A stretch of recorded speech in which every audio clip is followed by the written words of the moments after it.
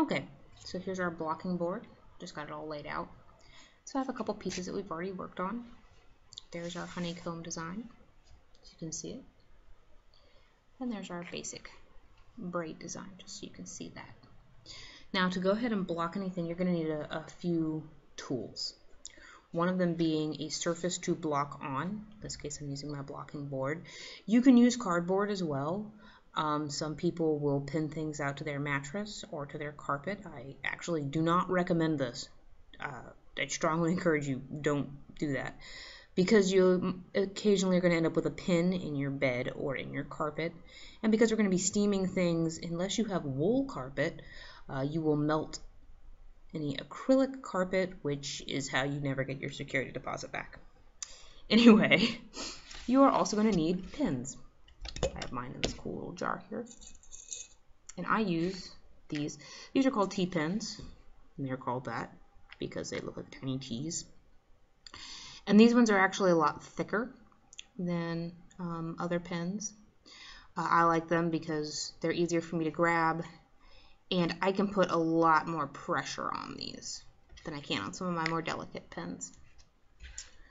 Okay, so pins. And then you are also going to need one of these. Oops, you can actually see the whole thing. Ta-da! An iron.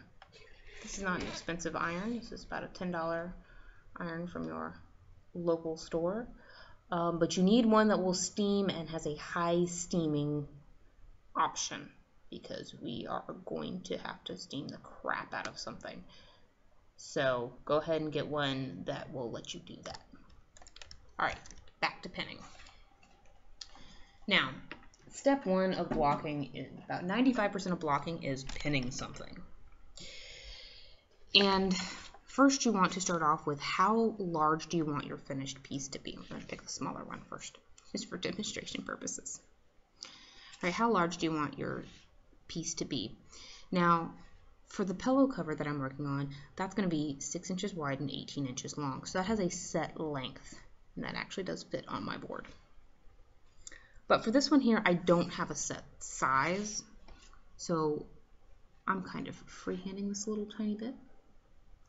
But if you had a set size, you would measure out, and I like to start at the base. Measure out how wide you want that to be. Pin that just in the corners. And all you're going to do is take your pins. If it's a smaller piece like this, I put them in at an angle. Okay. If it's a bigger piece, I just put them in straight down. And that's because I have to get in here with my iron, and I want to get my iron very close to the surface. So go ahead and just grab a couple of couple pins. Just lay them out there. You're going to be using a lot of pins, so if you don't have any, uh, buy a couple hundred, realistically. I know that sounds like a whole lot, but once you get to big pieces, I probably use at least 400 pins to do my, my gray piece here. About 400 of them. And blocking is 95% pinning and about 5, well, 3% of uh, actually steaming and 2% of moving your pins around and cursing a little bit because you got your measurements wrong. That's my experience. All right, so what I'm going to do, I'm just going to lay this out. I'm going to figure out about how tall I want this to be. Feel free to stretch this a little. You're going to need to do that. And again, just put it in at an angle. And then find your corner. And again, put it in at an angle. And you just want these sides to be relatively straight if that's your goal.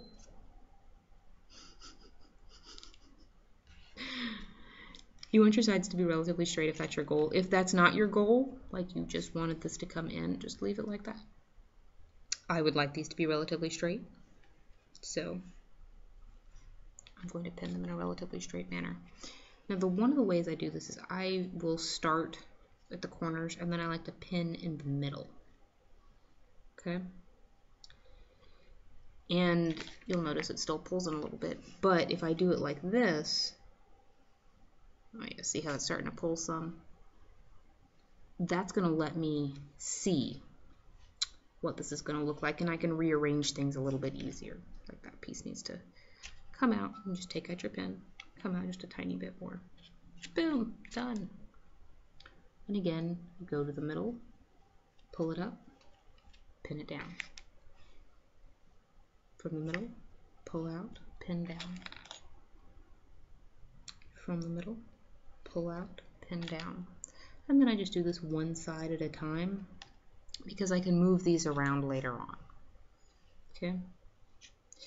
And I recommend that you only keep a few pins out at a time because, you know, if you have cats or kids or like me and just clumsy, um, you're going to end up knocking this thing over. And if you only have to pick up a dozen sharp and pointy objects, that works out a lot better than having to pick up, you know, 200 sharp and pointy objects because you are going to miss one, in my experience. And then people find them with their feet and they get all upset and, you know, say you're trying to kill them with your your crafting supplies and it just turns into a big old mess.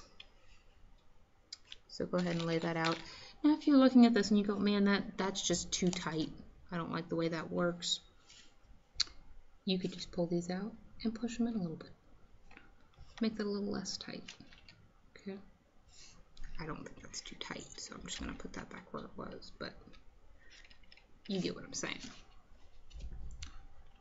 And just lay all this stuff out. Now when I'm doing things that have a finer edge, if I really need them to be very, very square, I'm probably going to be putting in a pin every row, every other row. Doesn't sound like a whole lot till you realize for the first section of this, that's 156 rows. That's over 300 pins per side, uh, per long side, plus 40 on each of the top and bottom. So you're looking at oh, about 400 pins, like I said. So this process can take a hot minute. Okay, get down to about the shape that you want. Use as many of these pins as you feel you need to. And boom. That is the finished shape that I want. Okay, so we're going to start and steam this. I'm going to go ahead and block the other piece just so you can see, have another example of what this looks like. Here's a cool thing if you have a blocking board, you can put multiple pieces down. So amazing. Okay, I'm doing this using the same process. Find your corner, pick a spot. Now, if you have a finished measurement that you want, something that's helpful is to go ahead and draw out your finished shape.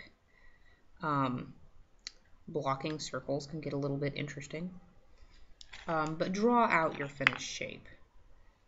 And the reason that you want to do that is so that you're just coming along here and putting things along the edge of that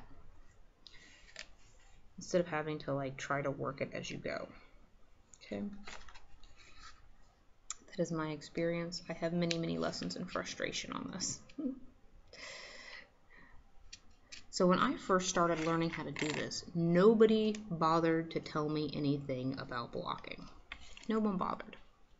See what happens when I didn't put something in the middle? See how that just pulled in? Yes, that is why you want something in the middle. It will help it retain its integrity. Shape right there. Boom, done. So when I started this, nobody told me anything about blocking. And I always had no idea why my pieces came out looking different than the one in the picture. Blocking is one of those things that's super important, but I don't think enough people go over with beginning knitters. Okay, now see how that's a little bit too tight. I don't think that looks very good, so I'm just going to relax this a little bit. Let that come in some. And then I simply adjust this corner. There you go. You can move this around. Problem solved. So anyway, no one explained that to me, and I kind of had to figure it out on my own, what blocking was and how to block with acrylic versus anything else. And so this is why when you're figuring out what kind of fiber you want, it's kind of important to know what fiber you're working with. Because how you block different fibers, that actually matters. So for acrylic and blocking, we're going to steam the holy bejesus out of this. And I do mine a little bit differently. Mine's a little more daring. You're going to see why. But I think that the finished product comes out a lot better because it's not as flat. Okay. If you're using a natural fiber such as wool or cashmere or um, even cotton, they don't really take very well to steaming.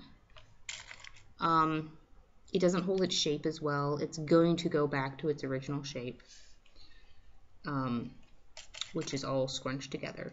So the way you would block that is that you have to wash something very thoroughly um, in a hand wash only detergent. Get a little salad spinner. It's going to help you get all that extra moisture out. It's a couple dollar investment you can get from a dollar store and then just only use it for your for your wool because you know you don't want to use detergent with your lettuce. Tends to end poorly for those eating it. Um, and you would just wash it very thoroughly, block it out, just like I'm doing now. And then you would let it dry for like 24 hours. Make sure it's really, really, really dry. Because if it is wet at all, um, it's just going to scrunch back together again, which is, you know, why you're blocking something is so that it does not do that. You can kind of adjust this as you go. I'm almost done now with this piece. But a lot of people, especially when they're starting, tend to use acrylic. It's um, it's a bit more affordable. I recommend starting using acrylic. One, because it's affordable. It tends to stand up to a bit more abuse than wool, um, which is another very common fiber. Um, although by all means, if you'd like to start in wool, please go ahead and do that. But acrylic you can find in a lot of places. And if you are just starting, I'd say don't make a giant investment until you know it's something that you want to do. Okay?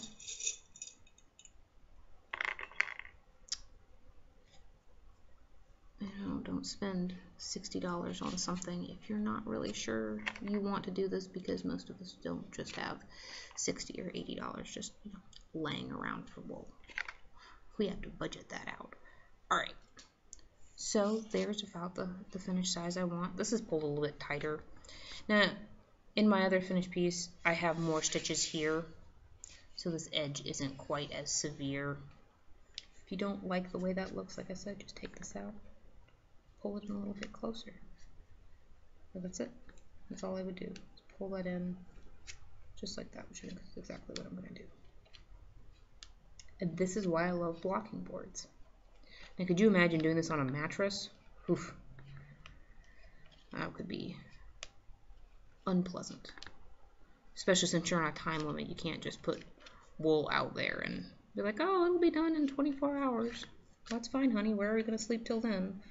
Um, the same thing as if you're going to put this on carpet. Okay. I think that pulls in just a little bit better. It's like I said, there's a lot of fidgeting to get this to look right because once we steam this, by the way, that is the shape it will hold forever and ever and ever. Amen. Um, there is no unsteaming acrylic. So just get it right the first time. So lots of fidgeting, lots of moving pins around for that, you know, the perfect little millimeter there. Okay.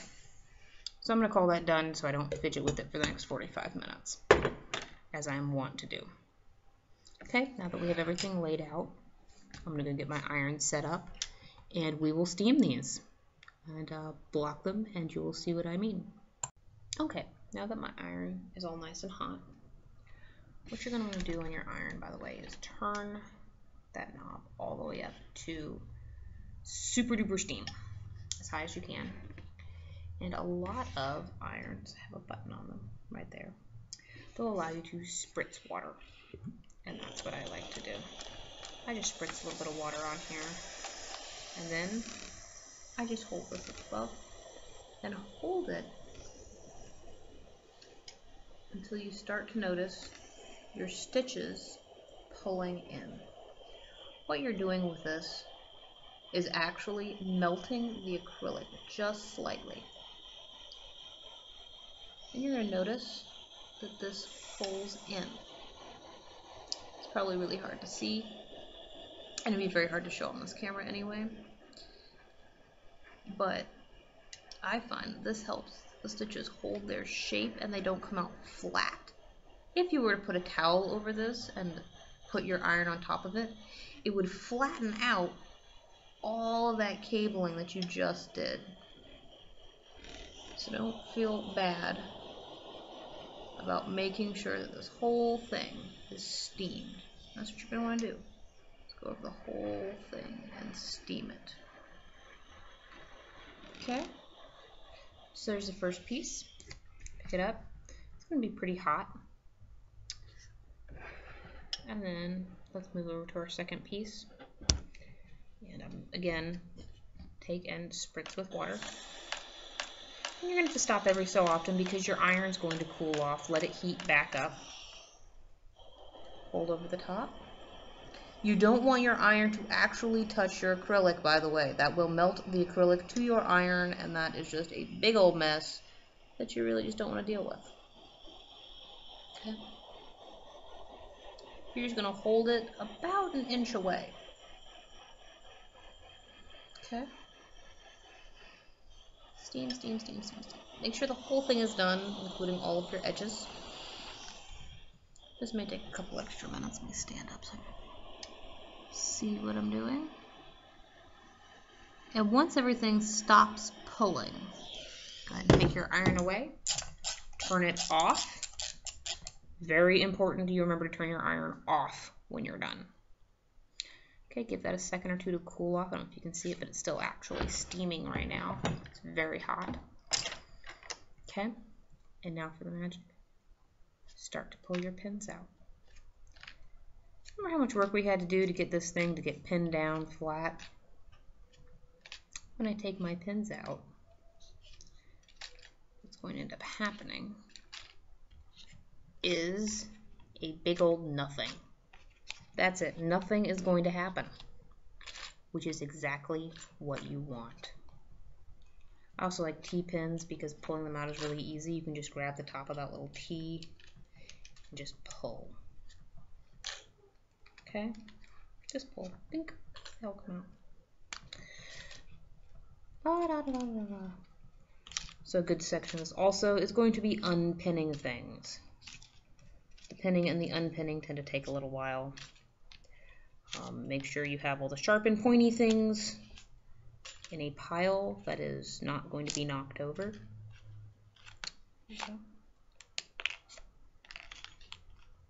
Like I said, you remember all that work we had to do to put that together? Ta-da! That's its shape.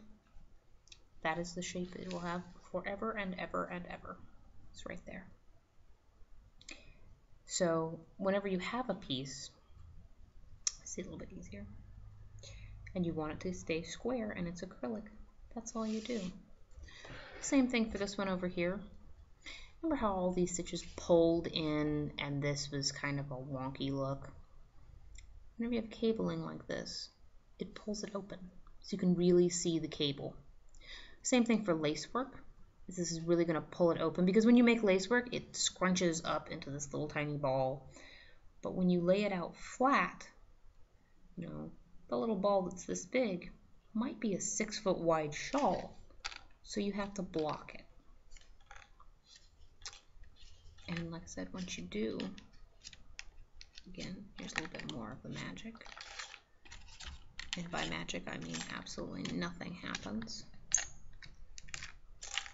Now, I just want to show you something here. The other reason I like T-pins is because if you have other pins like that one, see what happened there? It got too close to my iron. And it melts the top, which, you know, creates a dirty iron, which is no good. So get yourself some T-pins just invest in them. Get the heavier dudier ones, okay? It just, it works better. Um, and they're much easier to see if you drop something on the ground. There you go. Boom. There's a shape forever. That is how you block. And that is why you, how you block an acrylic. And also that is why you block. When I go to stitch these things together, if I were going to do that. I have a nice easy edge to work with. You'll notice it'd be a lot easier for me to sew those two edges together than it would be if they were all scrunched up. And trying to block this so that the edge here lays flat would be um, a giant hemorrhoid uh, to work on because I would have to block this edge here and I have to block this edge down here and then up the middle. So if you're doing piecework, just block each section individually and then sew it together. It's going to work out a lot easier for you. All right. So thanks for seeing Yarn Over Here with Jo. See you guys next time.